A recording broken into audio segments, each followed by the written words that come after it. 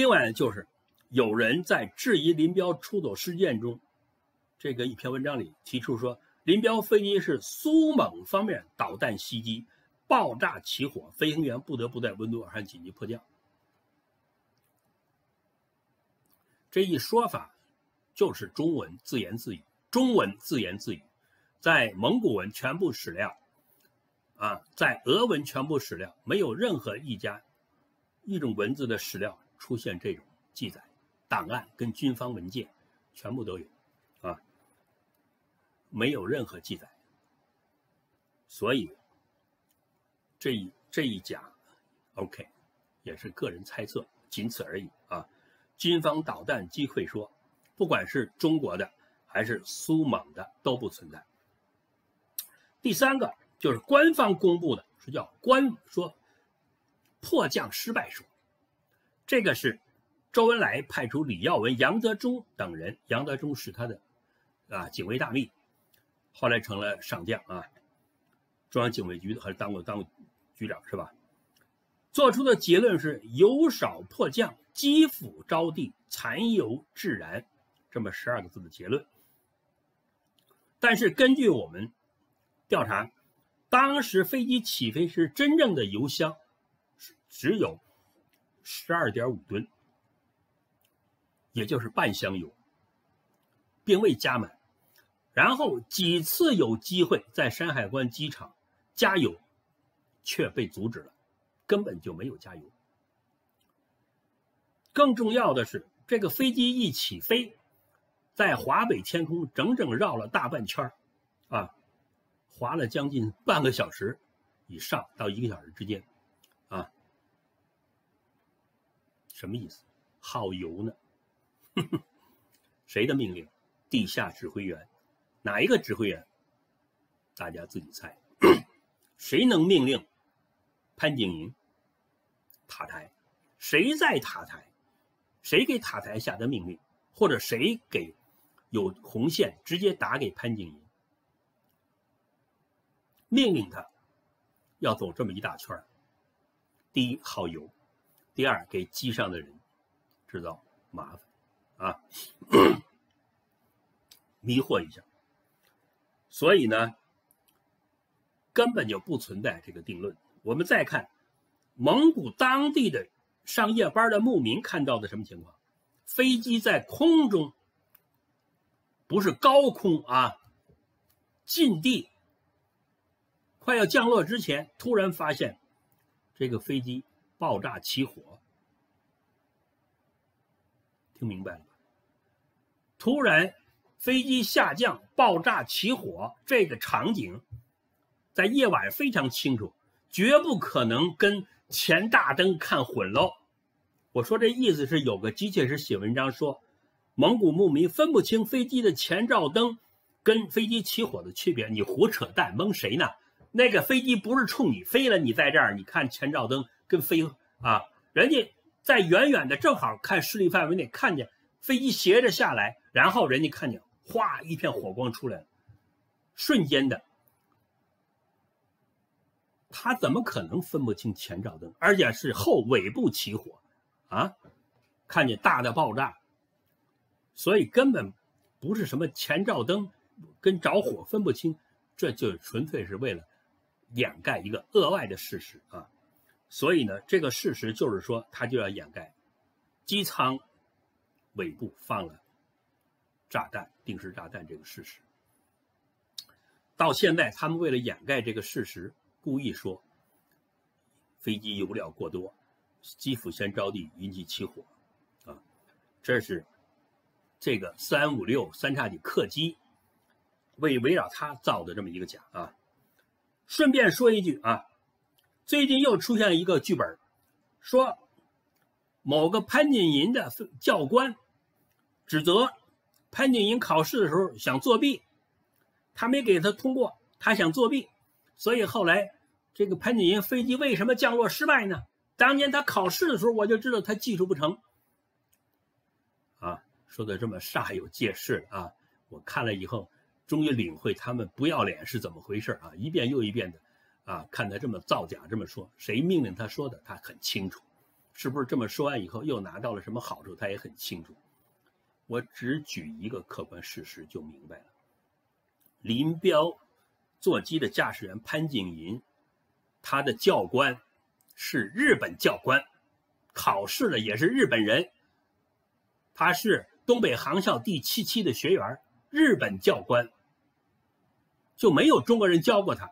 而且更重要的是，他在东北航校，在日本教官严格培训下，他同时擅长开客机和战斗机，尤其擅长夜间飞行和夜间降落。大家请去查东北航校潘景寅的考试记录档案。我给大家提个醒，哈，就在东北航校博物馆。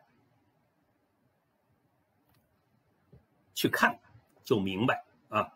所以现在有人突然冒出来指责潘景寅啊，飞机驾驶降落技术差，哈，你是不是太小看毛泽东的命多少钱一斤了？你太小看林彪的命、宋庆龄的命多少钱一斤了？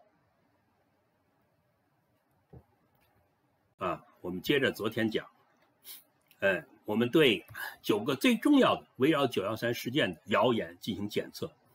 第四个谣言就是，啊，定时炸弹自爆说，蒙古人当时目睹飞机是在快要降落的时候，在这个半空中爆炸，先看到尾部爆炸啊，特别记住，不是什么机头前部，这应该是非常有力的一个佐证。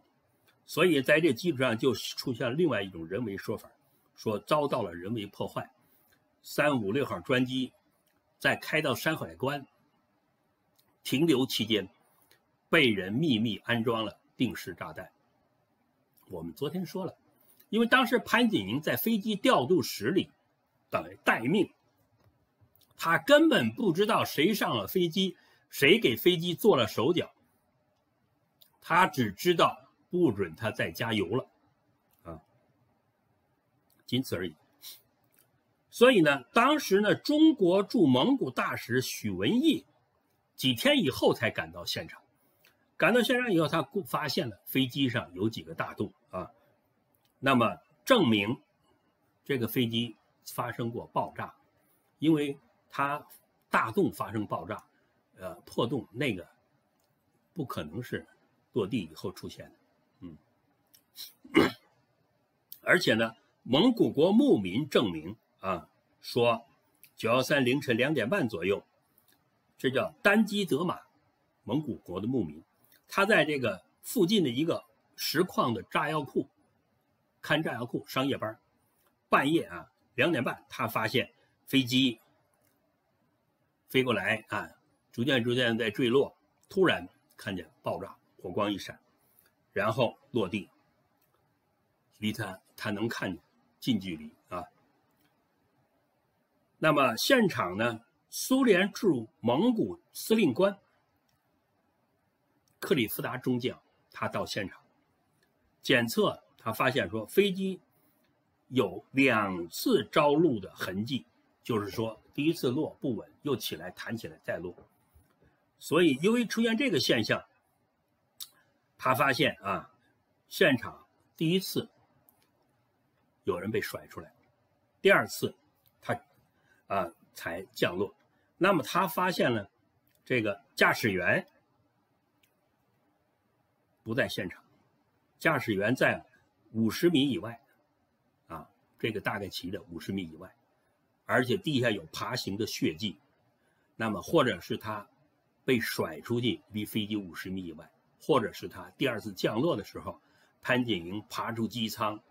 沿着地面想离开这个飞机，当时着后来又着火了嘛，爬出五十米，二者必居其一。现场验证地下有爬行痕迹，这就印证了唯一活着的潘景寅爬行了五十米，然后失血过多而死。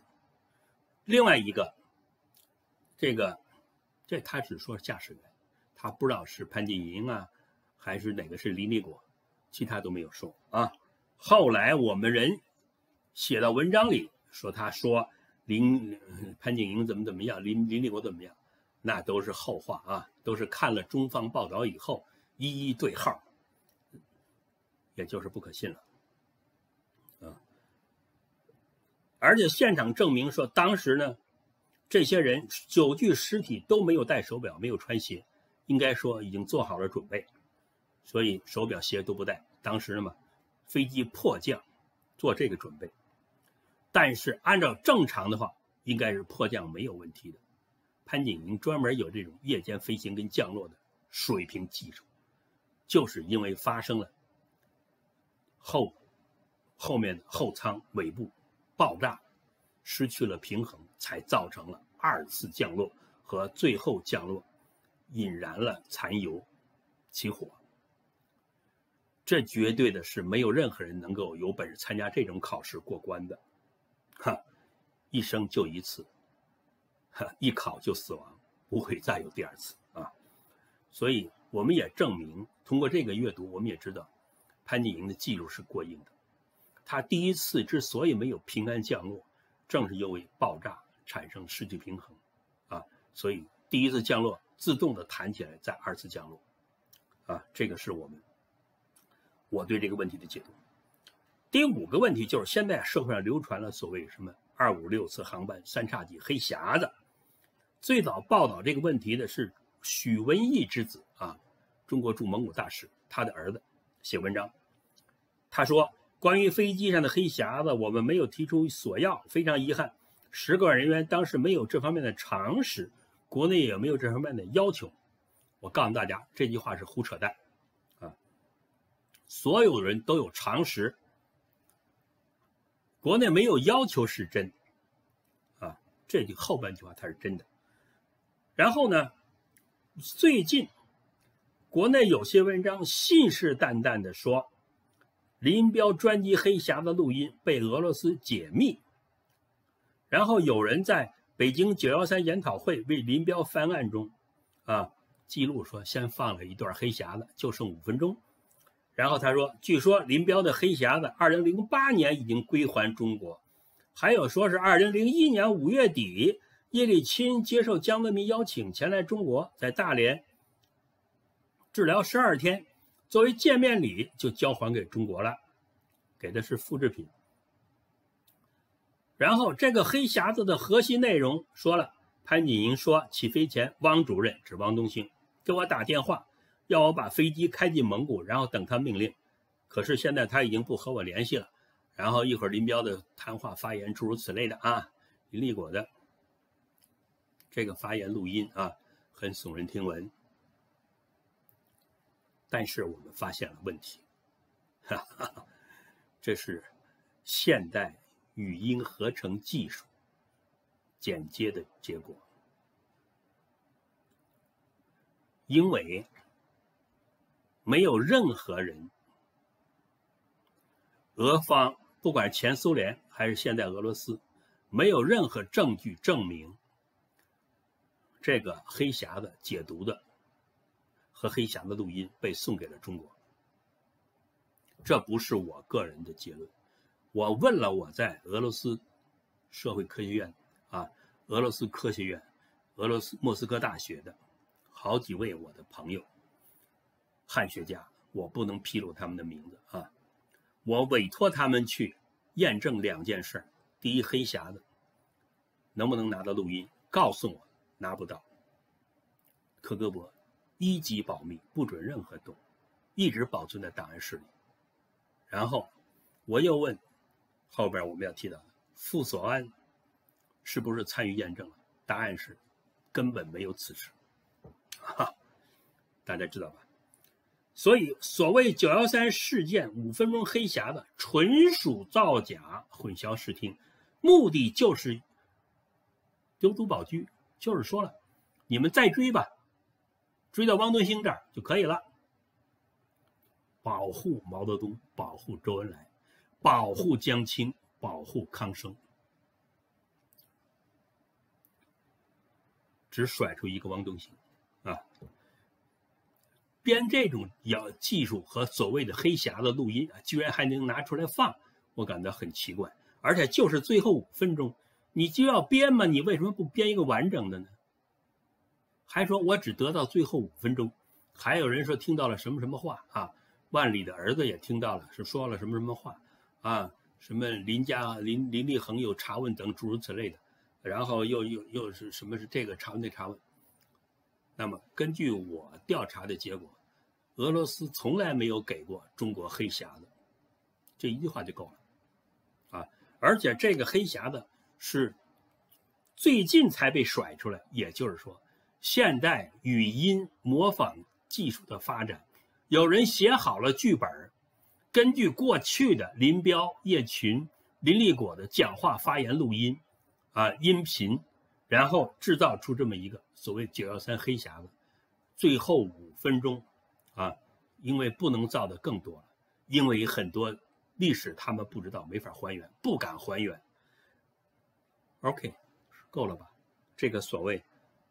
林彪事件黑匣子啊，至今完好无损，保存在克格勃档案室，根本就没有给过中国，中国也没人敢索要，索要也不会给。记住，下一个就是所谓女性验尸报告说，这个非常有意思。蒙古方面法医专家验定现场验尸报告，全体成员年龄没有人超过五十岁。唯一的女性身高一米六六，年龄在二十几岁，最大不超过三十岁。而且这个女性这个照片国内发布了，说这个就是叶群。根据哈哈蒙古方面的验尸报告，身高一米六六，叶群身高一米五五，而且这个女性的残缺的衣服里面，口袋里面有避孕套。还有避孕药，女用的、男用的都有。叶群用吗？不用。所以，还有最重要的一个铁证，国内很少提到。验尸结果证明，这个女性出现了严重的子宫脱坠。法医证明，这个是临死前被奸尸的结果。被轮奸的结果，听明白了？就是说，在飞机上发生了轮奸行为，而飞机现场机舱内部显示出现过打斗，应该跟这次轮奸行为有关，是争夺轮奸机会的打斗呢，还是有的人良心发现？跟那些实施轮奸的强奸犯打斗呢？大家想吧。同时，既然飞机上出现了这种打斗，就不可能林彪在飞机上。